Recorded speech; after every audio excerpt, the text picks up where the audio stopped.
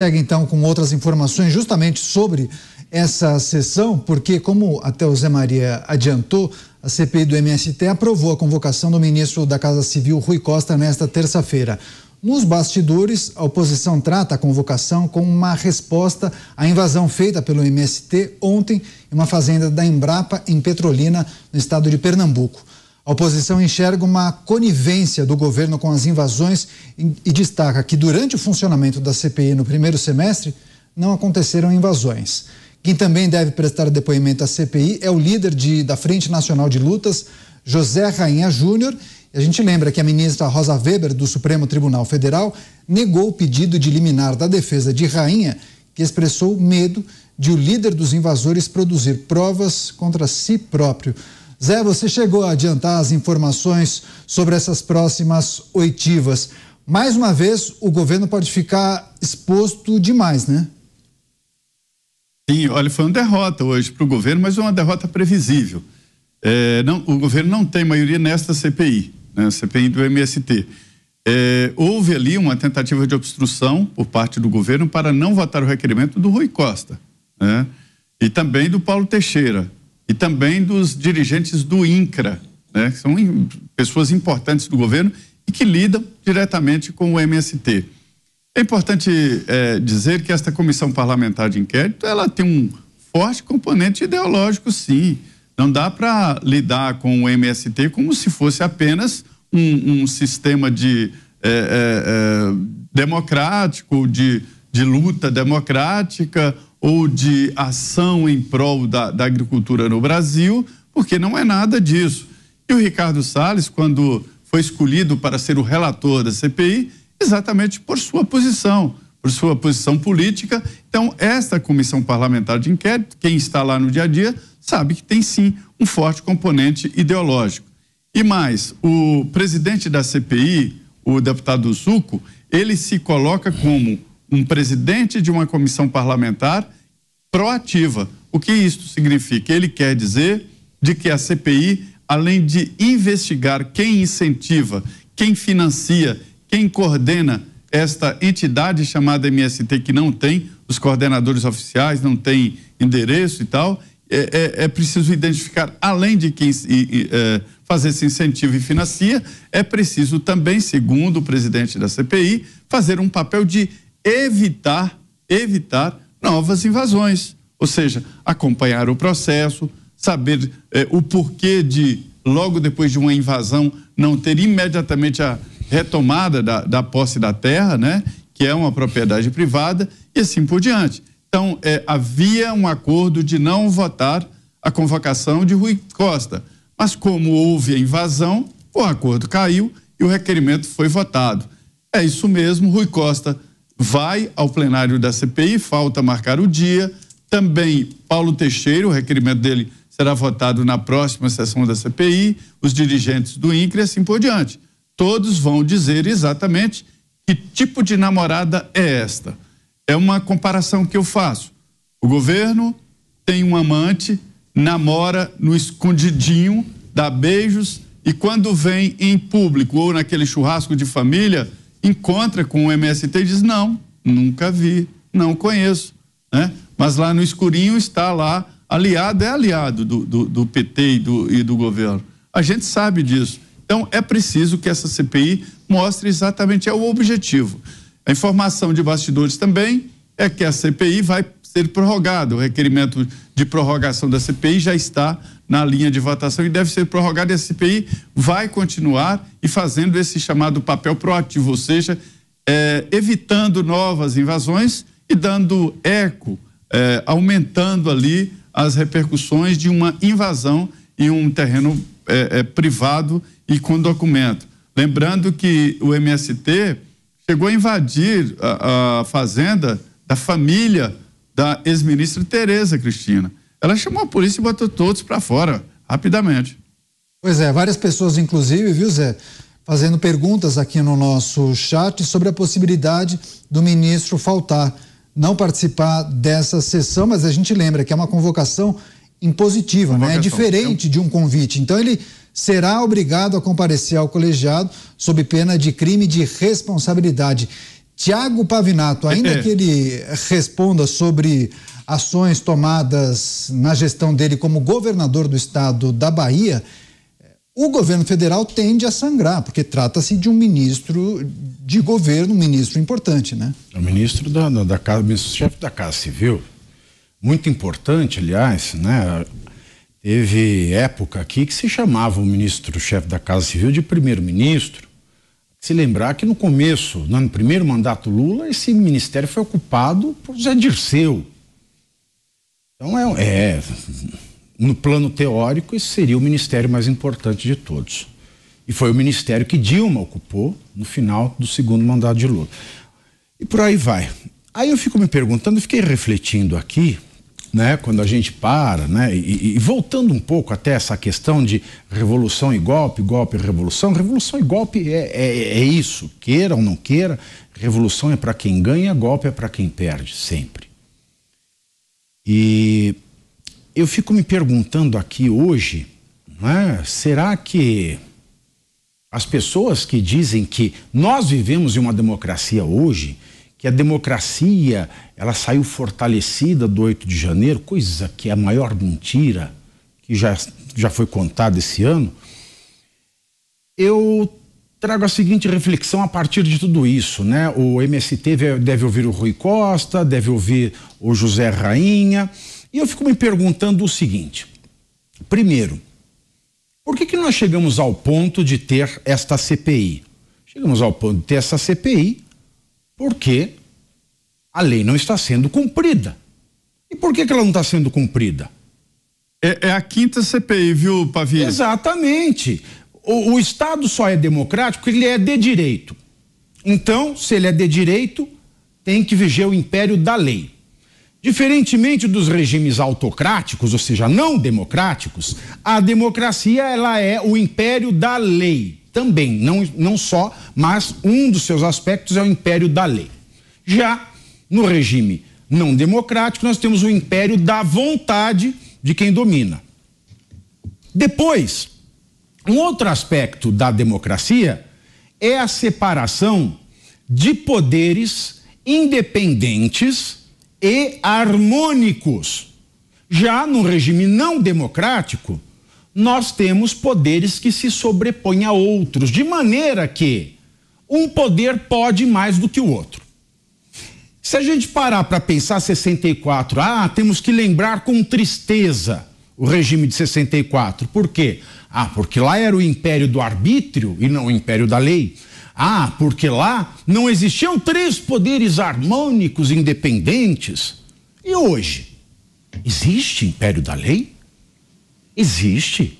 Nós estamos falando de várias, várias comissões para ver estes casos do MST. E existe ainda quem coloque no currículo. Fiz parte da, da invasão zero, que deu origem ao MST.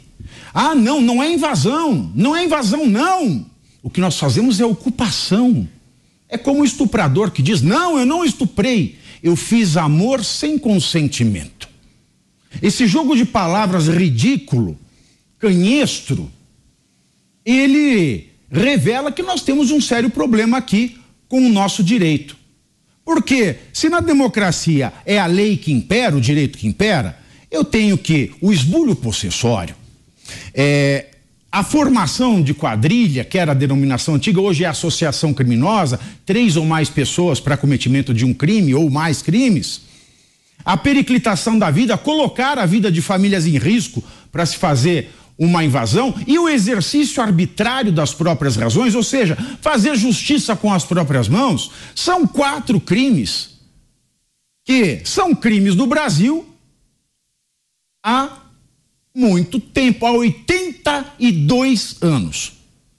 E se nós temos dificuldade de fazer uma prisão em flagrante de um grupo de milhares de pessoas que conjuntamente cometem, no mínimo, quatro crimes do Código Penal, que são quatro crimes do Código Penal há 83 anos, eu tenho um problema aqui. Porque império da lei este país não é. E se não é império da lei, não é democracia. Segundo, Se eu vejo uma CPI em que uma testemunha convocada pede ao Supremo Tribunal Federal o direito de ficar em silêncio, eu sei que réus, e esse foi o caso do Mauro Cid, porque ele era réu no 8 de janeiro, foi prestar depoimento na CPMI do 8 de janeiro, porque existe o princípio é, consagrado na Constituição de não fazer prova contra si mesmo. Ele, por ser réu, teve o direito de não resposta. Uma testemunha nunca, jamais pode se imaginar esse caso. Uma testemunha ela tem a obrigação de responder e o STF concedeu ao G Dias o direito de ficar em silêncio. Muito embora ele não tenha exercido, o Supremo concedeu um direito que não existe e concedeu uma coisa inadmissível. O Supremo, mais uma vez, ele se sobrepôs ao poder legislativo. Se a CPI é um instrumento do poder legislativo com poderes para investigar e ouvir testemunhas, como é que o judiciário vai solapar esse direito do poder legislativo? Age como agiram os militares, solapando competências do poder legislativo. Portanto, onde está a democracia? Não a vejo, não consigo enxergar a democracia. Se essa CPI está sendo realizada, é porque nós temos governadores, porque os crimes que acontecem nos estados, os crimes comuns, como a invasão de terra, devem ser coibidos pelas polícias dos estados, que estão subordinadas às secretarias de segurança pública dos estados, que estão subordinadas aos governadores dos estados. E se existe um grupo que atua no país inteiro, a Polícia Federal deve entrar na jogada. A Polícia Federal que está debaixo do guarda-chuva do Ministério da Justiça e Segurança Pública, que está debaixo do guarda-chuva do presidente da República. Por que, que essas autoridades, ao invés de fazerem o que a lei manda fazer, prenderem flagrante, vão lá e negociam. É o que eu falei aqui ontem, daqui a pouco a gente vai ver o sequestrador. Inato. É, é, é a pergunta, Pavinato, ah. é a pergunta de um milhão de dólares. É, o que que acontece é, que o MST não é levado logo depois de uma invasão para o estádio? Todos identificados, telefones é, é, é, tomados e eles presos preventivamente. Aí você vê o caso do Zé Rainha. O Zé Rainha, sem terra, do movimento sem terra ou movimentos conexos. Ele foi solto porque tinha endereço fixo. Um sem terra de endereço fixo. Deus do céu, me responde como isso é possível. Um sem terra com endereço fixo. Alguém me elucida isso porque não faz sentido. Não cabe na equação. E quando eu vejo que a lei é a lei no Brasil há 82 anos e ela não está sendo aplicada. Que contorcionismo é esse que nós fazemos para continuar a tolerar essas atividades criminosas? Ah, mas é socialmente isso é. Então revogue essa lei, Cristo. O que não pode acontecer é um poder se sobrepor ao outro. O que não pode acontecer é o desrespeito do direito. Porque senão eu não posso dizer que eu vivo numa democracia. Porque se não há respeito à lei e se um poder se sobrepõe ao outro, democracia não há. Não tem como, mas nem no domínio da insânia do Lula quando ele diz que o conceito de democracia é relativo. Pois é, muitas pessoas enviando mensagens, elogiando, criticando os nossos analistas e comentaristas. Chamou atenção, viu, Pavinato, a mensagem da Conceição Barreto dizendo: Conceição. Aqui na Bahia, o ex-governador eh, Rui Costa não deixava a polícia ir atrás dos invasores eh, de terras. Enfim, assuntos, que, que, ser, que assuntos que certamente serão tratados nessa oitiva. Agora, Shelp, expectativas para os próximos dias da CPI do MST, que vai ouvir o ministro Rui Costa para que ele trate das questões envolvendo as invasões de terra quando ele era governador do estado da Bahia, e ainda as lideranças de movimentos como João Pedro Stedley e o José Rainha. Os deputados da oposição precisarão extrair o que deles? Daniel, é justa, eu falei isso, né? Eu vou, explorar um pouco mais, mas é isso, né? A gente precisa entender que, obviamente, que o, o que se faz é, nesses movimentos por parte das lideranças é uma é uma manobra, né, em que você junta pessoas muitas vezes desesperançadas e usa elas é, de maneira política para atingir objetivos é, políticos. É, líderes do MST, como o Stedley, ou de outros grupos conexos, como diz Pavinato, como José Rainha, eles têm uma agenda política acima de tudo. Né? A reforma agrária é, avançou muito nos últimos anos no, no, no, país. A gente teve, desde Fernando Henrique Cardoso, é, um avanço muito grande nisso, até no governo passado, com a entrega de titulação de terras, né? foi um passo dado importante em relação a isso. É, e a invasão de terra, seja ela produtiva ou não, porque não cabe ao MST decidir se é produtiva ou não, ela é um crime. É um crime de invasão de propriedade privada, a não ser, além dos outros crimes que também já foram citados. Então, é algo que precisa ser coibido. E o fato de que há integrantes ou militantes desses grupos no governo, eu acho que deveria ser o foco dessa CPI. E os, números, os nomes estão aí, basta é, pesquisar no organograma do governo, de entidades como o INCRA ou de alguns ministérios, que a gente encontra o nome dessas pessoas. Como não é um movimento com CNPJ, né, você não tem. É, você tem que buscar o histórico das pessoas, né, mas você não tem aquele dado objetivo, a pessoa não teve CL, é, a carteira assinada do MST. Não é? Então, mas essas pessoas são conhecidos militantes do MST ou de outros grupos. Então, essa conexão precisa ser feita. Né? Como é possível você ter o Stedley viajando com a comitiva presidencial para a China? Né? Então, esse é um fator de extremo desgaste para o governo. E é por isso que a, a, o depoimento, né, a prestação de contas desses integrantes do governo, ministros, na CPI é importante. Agora, os integrantes da CPI devem tomar cuidado para não se perder nesse objetivo, porque é possível ter, objetivo, é, ter resultados objetivos com essa CPI, ao contrário do que acontece com a CPI do 8 de janeiro, onde as, a descoberta da verdade do que aconteceu é mais, é mais possível de acontecer com investigações da Polícia Federal do que propriamente naquele debate ideológico que a gente está vendo lá, entre duas versões de um fato histórico. Mas aqui não, aqui tem fatos objetivos que podem ser levantados e a CPI devia se concentrar neles, porque as CPIs anteriores do MST, como eu disse, não deram em nada. Pois é, como disse José Maria Trindade, essa é a quinta, né, Zé? Agora, Mota, olhando para a participação de G. Dias nessa oitiva, nessa sessão de hoje da CPI do MST, ou até observando entrevistas de outros ministros de governo, eles não parecem que se omitem em relação ao assunto de invasão de terra? Parece um tema proibido, ninguém quer se posicionar de fato? Eu acho que o Zé Maria usou a metáfora perfeita. É impossível encontrar uma forma melhor de descrever o que parece que está acontecendo.